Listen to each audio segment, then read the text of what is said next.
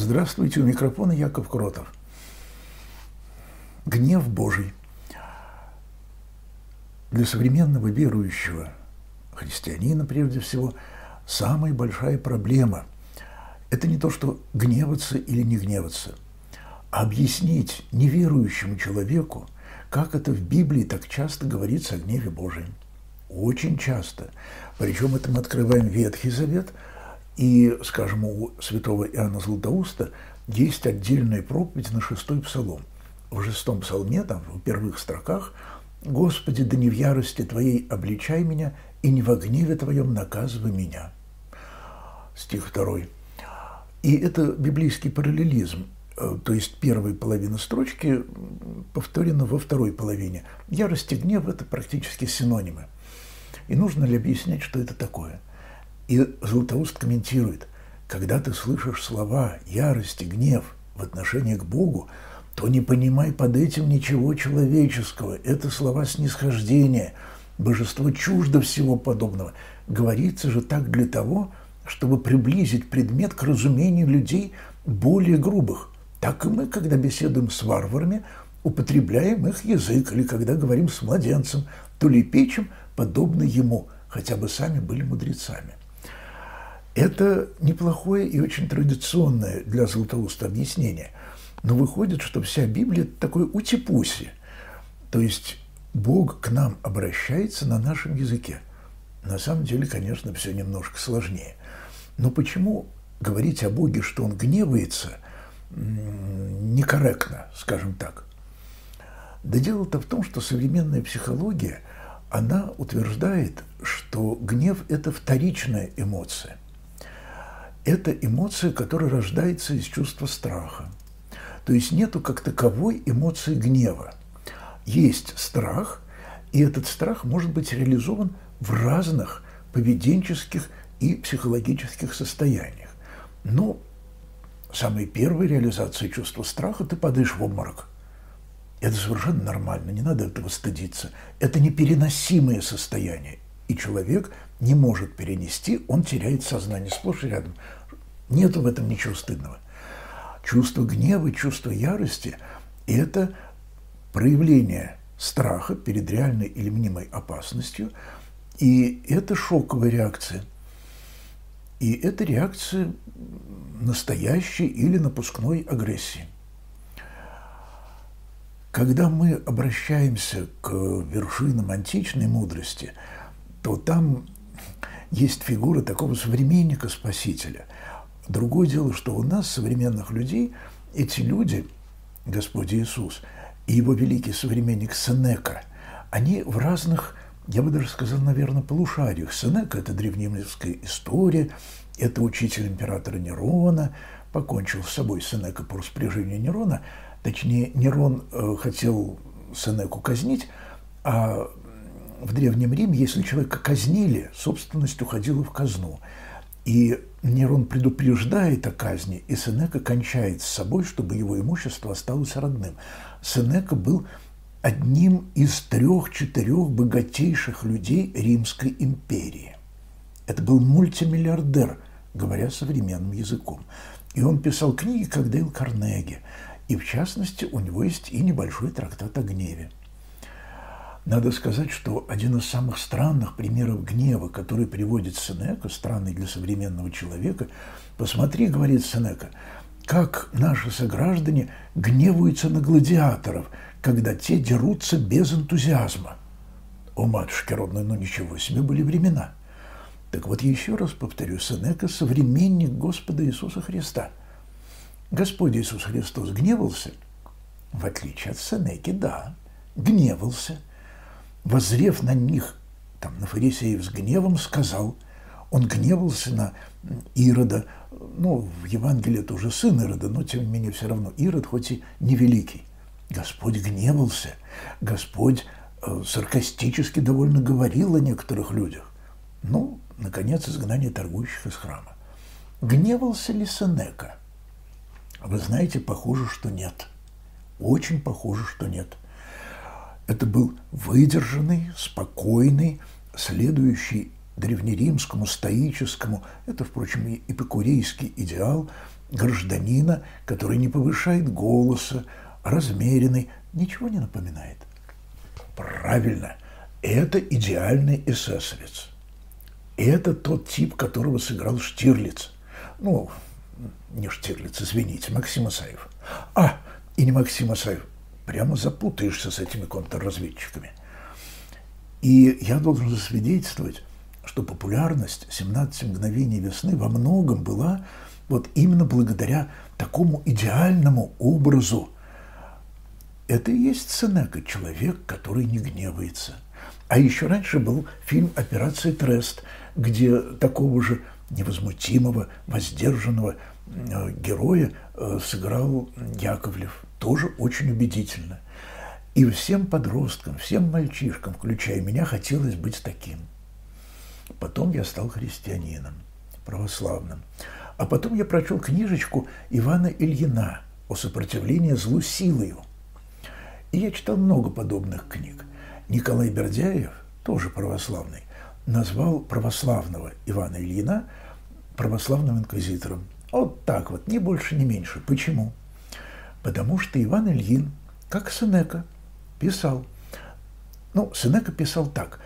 Напрасно говорят, что без гнева невозможно победить на войне и в бою, что солдат, когда он идет в атаку, должен гневаться, у него должно быть чувство ярости.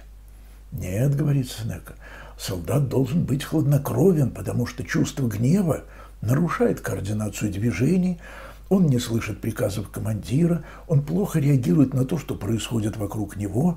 Нет, нет, воин должен быть невозмутим.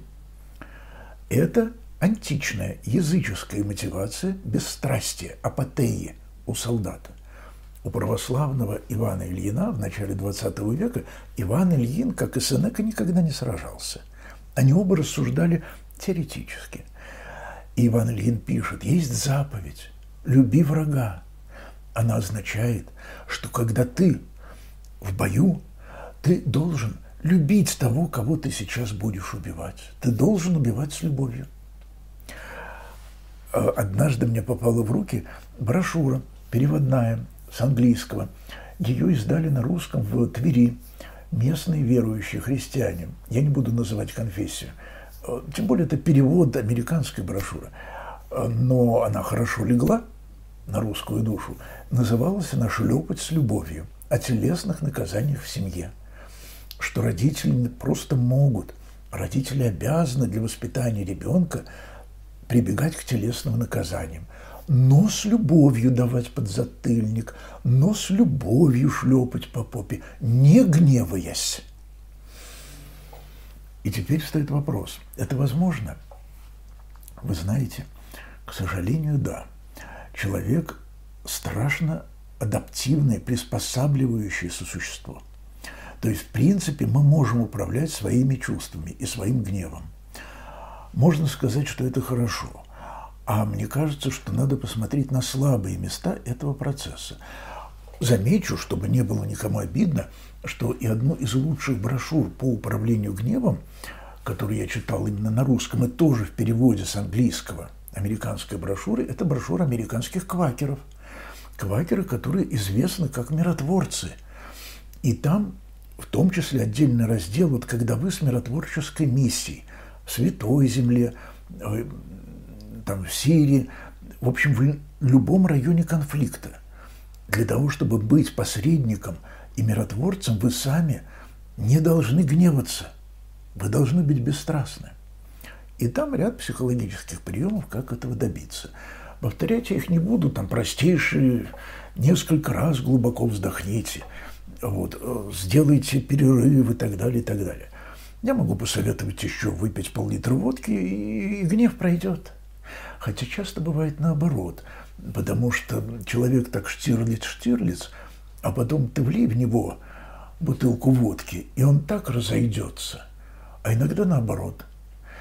Потому что алкоголь, он показывает, что там поглубже, чем верхние пласты психики. Так вот, вернемся к Богу.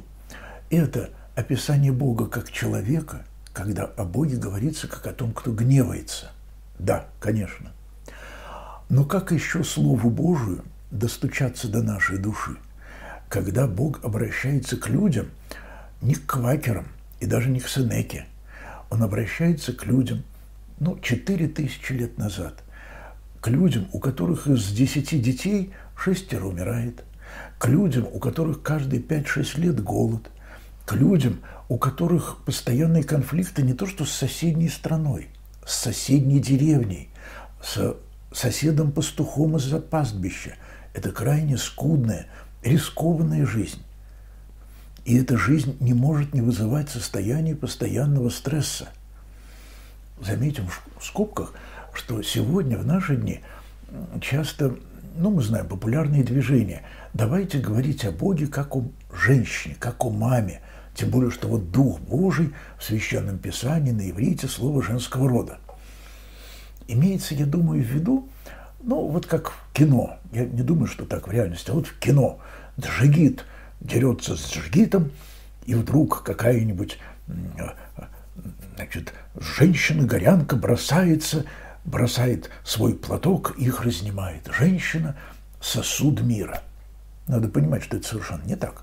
Женщина – абсолютно человек – Поэтому представление о Боге как о женщине, нам хочется, чтобы Бог, вот это его свойство долготерпения, благоутробия, утроба – это часть женского организма. И нам хочется подчеркнуть женские черты в Боге. Но кротость, милосердие, долготерпение – это не женские черты, это человеческие свойства, общечеловеческие. А с женщиной так. В патриархальном обществе, когда подавлена женщина, то у нее подавлена, разумеется, и способность гневаться. Она разгневается, да ее этот джигит зарежет и новую возьмет. Это управление гневом, она просто выживает. Но что делается внутри, это страшное дело. И поэтому Сенека, как и все другие персонажи той эпохи, в отличие от Господа Иисуса Христа, жил в постоянном страхе перед восстаниями рабов – они все помнили восстание Спартака. И поэтому раб, он может гневаться? Нет. Гневается миллиардер, гневается рабовладелец, гневается свободный человек. А что делает раб? Вы знаете, восстаний, подобных восстанию Спартаку, в первом веке, во втором уже не было. Римляне как-то так приняли меры предосторожности. А вот что было, то в одной вилле восстанут и перережут все хозяйское семейство, то в другой. И они жили как на пороховой бочке. Но освободить рабов они не могли, потому что они не знали другого способа выстраивать трудовые экономические отношения. А раб не гневается, он знаете, что делает? Он психует.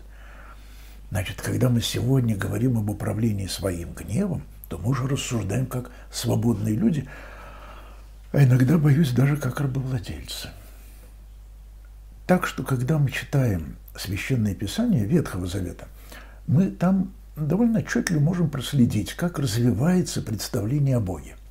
Да, изначально человек проецирует на Бога свою гневливость, свою агрессивность. Он видит в Боге такого же пастуха, в общем, отнюдь не кроткого пастушка из оперы какого-нибудь Моцарта «Волшебной флейты». Это тот еще пастух с вот такой вот дубиной в руке. Пастух, который, как Авраам, ходит войной на соседних пастухов. И это битвы, где участвуют сотни, может быть, даже тысячи людей. Но главное, что этот пастух, когда он убеждает себя не гневаться, э, он что цитирует? Правильно – эпиграф к роману Льва Николаевича Толстого Анны Каренина. «Мне отомщение и аз воздам. Не гневайтесь и не мстите». В древности гнев вообще считался прежде всего э, чувством мести, отомстить за зло, за страх. И я думаю, что это психологически очень правильное, корректное понимание. Значит, тогда э, мы как бы откладываем свой гнев, мы его вручаем Богу. Боже, ты вот отомстишь, прогневаешься за меня. И отсюда, собственно, представление о страшном суде. Оно ведь не специфически библейское. Картины, изображающие страшный суд, э, это фрески в любой египетской пирамиде, в любой древнеегипетской гробнице. Там и весы, и судья, и, и, и душа, и отдельно вот глиняное тело. Это все Бог не придумал. Он взял то, что у евреев уже было, они же в Египте жили, то, что они знали из верований соседних народов, Бог это берет и модифицирует, как сейчас бы сказали, преображает. И этот страшный суд назывался День гнева. Довольно странно, что, смотрите, по-гречески э, мир – это Айренос, отсюда имя Ирина, Ира. А на латыни Ира – это гнев. Отсюда в реквиеме Моцарта, ну, то есть в погребальном месте, в заупокойном месте, гимн на латыни, но мы все его в основном знаем по реквиему, где самый проникновенный, потрясающий отрывок – это на слова «диес ире», «диес илле». Этот день – день гнева, день гнева Божия. И тогда оказывается, что вот эта реакция гнева, человек с ней поступает как с гранатой. Вот на тебя прилетела граната, ну, какой она была в XVIII веке, шар и горит фитиль, и ты ее Э, отбиваешь туда, к Богу. Боже, подержи гранату. И чувство гнева предоставляется Богу. Точно так же, как и рабовладелец. Не я рабовладелец, Бог рабовладелец, а я раб Божий. Я возможная жертва Божьего гнева. И я это принимаю. Я на себя боюсь принять Божий гнев. И я сказал, что в Новом Завете Господь Иисус гневается. Да, гневается. Но он же сказал, что гневающийся на брата своего подлежит гиене огненной. И здесь, кстати, в синодальном переводе, который нам все-таки привычен больше, чем современные переводы, есть слово «напрасно». Гневающийся на брата своего напрасно. Но все древнейшие рукописи, а древнейшие рукописи – это третье, четвертое столетие, абсолютно единогласно это слово напрасно отсутствует. Понятно, почему его вписал какой-то умник где-то веке в четвертом уже. Потому что, ну а как не гневаться? Ну надо же гневаться, друзья мои. Ну, ну не могу молчать, как говорил тот же Лев Толстой, и за ним еще целый легион не толстых. Ну, э, воруют граждане судьи. Как говорил герой фильма, берегись автомобиля. Потом, вы понимаете, гнев он тоже бывает разный. На заре компьютеров очень активно распечатывали листок бумаги э, с какими-то рисуночками, которые можно было смять и выбросить в корзину. Про японцев говорили, что они уже полвека назад ставили в прихожих э, в офисах компаний глинин, э, резиновую куклу босса, э, и каждый сотрудник мог подойти и набить резиновому боссу морду, выплеснуть гнев. Другое дело, что, вы знаете, это не работает. Это старый вопрос о том, компьютерные игры, боевики, э, пулялки-стрелялки, они у подростков, у взрослых понижают уровень агрессии, она выплескивается, или они, наоборот, подпитывают агрессию. И все современные исследования психологов, а исследований этих очень много – приходит к проникновенному выводу, а кто его знает? И так, и так, 50 на 50. И это было предсказуемо, потому что это человек, потому что в нас образ Божий – это свобода. В результате на сегодняшний день мы действительно имеем культуру, которая призывает обуздывать свой гнев. Европейская культура, я бы даже сказал западноевропейская. И мне опять, извините, вспоминается роман Анна Каренина, э, точнее даже так, мне вспоминается воспоминание Татьяны Кузьминской. Это сестра жены Льва Толстого, которая очень дружила с семейством Толстого в 60-е годы, когда он только начинал семейную жизнь. И она рассказывает, что однажды Толстой совершенно беспричинно устроил э, жене, причем тогда даже и детей не было, только один – в общем, он вдруг взорвался, психанул. Он что-то разбил, еще что-то. Она была в ужасе. Толстой потом извинялся. А потом он Кузьминской сказал, что как бы ни гневался человек, какое бы бешенство он ни приходил, он внутри знает, что он делает. Это было самонаблюдение. И этот взрыв бешеной ярости перекочевал в роман «Война и мир», где Пьер Безухов в гневе на Елен хватает огромнейшую мраморную доску и разбивает ее, ну, не об голову Элен. Он э, уводит свой гнев на материальный объект. Но это же тоже не дело. Но важно вот это наблюдение Толстого, оно гениальное. Как бы ни был гневлив человек, он не может сказать, что он невменяем. Невменяемость определяют психиатры. А мы для себя скажем, когда я гневаюсь, на самом деле я себя контролирую. Я мог бы себя контролировать. Но от страха я предпочитаю выпустить этот контроль. И вот современная культура учит меня контролировать гнев. Мне вспоминается рассказ о Доне Боско. Дон Боско, э, Джованни Боско, э, это такой итальянский Макаренко. Он жил в Турине в 1840-е и 50-е годы. Тогда только в Италии начиналась промышленная революция, народ от нищеты пошел из деревни в город, и было огромное количество детей беспризорных. И либо они работали, 6-7 лет иди работай, но работы на всех не хватало. Беспризорники. И Дон Боско организовывал для них такие, ну, при, ну, как Макаренко, приюты, интернаты. Он у богачей брал деньги, покупал дом, селил их вместе. И он находил с ними общий язык, как, насколько я понимаю, по одной причине. Он был взрывчатый человек, и он умел себя контролировать. И это детей завораживало. Они воочию видели – ну, скажем так, гнев Божий. Бог может снести нас всех напрочь, но Он этого не делает. И Дон Боско взрывался. Но, когда он взрывался, он просто гнул стальные ножи, которые у него под рукой на этот предмет были. Сгибал и разгибал. Не потому, что он был очень сильный человек, а потому, что он был очень гневливый. Но это был громотвод. Это, если позволительно сказать, э, римокатолический способ решения проблемы. Есть э, буржуазный, капиталистический, мещанский. Ты себя обуздываешь, потому что ты боишься потерять деньги при заключении сделки. Ты боишься развода с женой или с мужем. Э, то есть ты боишься социальных последствий, которые ударят тебя по кошельку. И ты тренируешься. Но есть и православный способ. Я не утверждаю, что все православные следуют этому способу.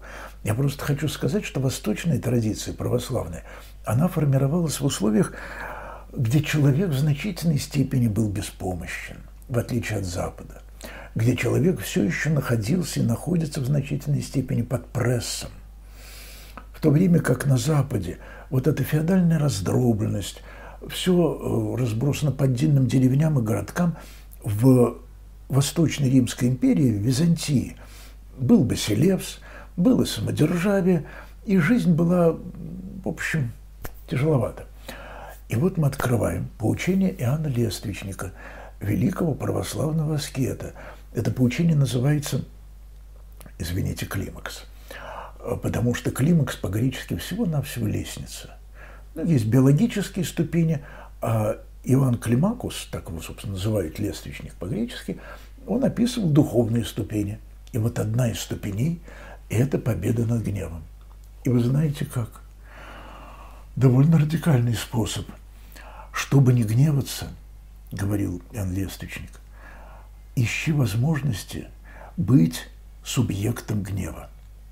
Радуйся, когда тебя ругают – Радуйся, когда ты жертва чужого гнева. Как это реализовывалось? Один из монахов-старцев, своего послушника, э, один день или там даже неделю, он его говорил, вот видишь там вот полуразрушенная статуя языческая, вот сегодня весь день ты стой перед ней, кланяйся в землю и говори, о, какая ты замечательная статуя, о, ты великолепная статуя. Вечером послушник приходит, ну что, говорит, сделал, сделал. Ну и что тебе статуя сказал? Ничего. На следующий день старец посылает и говорит, а сегодня ты вот бросай в него камни. Поэтому они и были разрушены, все эти античные статуи. Бросай в него камни, плюй в него, бей палкой, осыпай самыми грязными словами. Вечером доложишь. Вечером приходит. Ну как? Ответила что-нибудь нет. Вот, говорит он, вот, и ты упражняйся в этом. Чтобы тебя ругали, ты не отвечаешь. Тебя хвалят, ты не отвечаешь. Ищи такие ситуации. Прямо скажу, э, мне чаще ситуации, когда на меня гневаются. И довольно близкие, родные люди. И это понятно, потому что, ну, враги человеку домашние его. И я враг тем, с кем я под одной крышей. То носки разбросаю. Это я цитирую Тимура Шаова.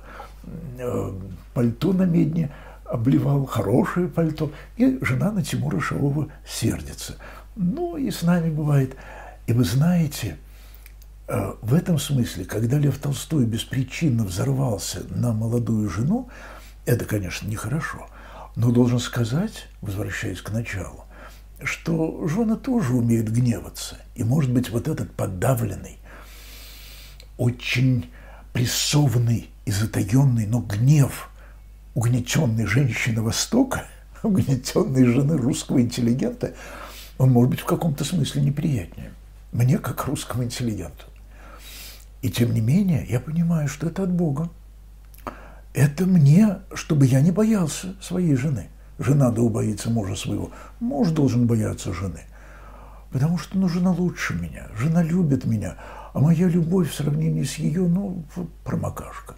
Я впитываю ее любовь, а так, чтобы вот так же вот ее любить. Нет, она меня больше любит, чем я ее. И поэтому, когда гневается, я принимаю это как должен. Ну, ну, я, конечно, побаиваюсь. И вот все сравнения библейские, Бога, э, он гневается, я раб Божий, вы знаете, они помогают, в конце концов, они отливаются в евангельский образ. Бог как жених, а я как невеста. Или, если угодно, Бог как невеста, церковь невеста. Но, во всяком случае, это отношения любовные. Тогда гнев – это уже не страх – это не агрессия, это не то, что я боюсь э, там, насильника. Жена боится мужа, муж побаивается жены, потому что любовь – это огромные силы чувства. И она дается нам, макакам, ну, родственникам. И справиться с любовью, любить вовсю, любить полнокровно – это же только после Дня гнева Божия. Только-только после того, только в воскресенье. Другое дело, что для нас вера вдруг нам открывает, что воскресенье это совершилось.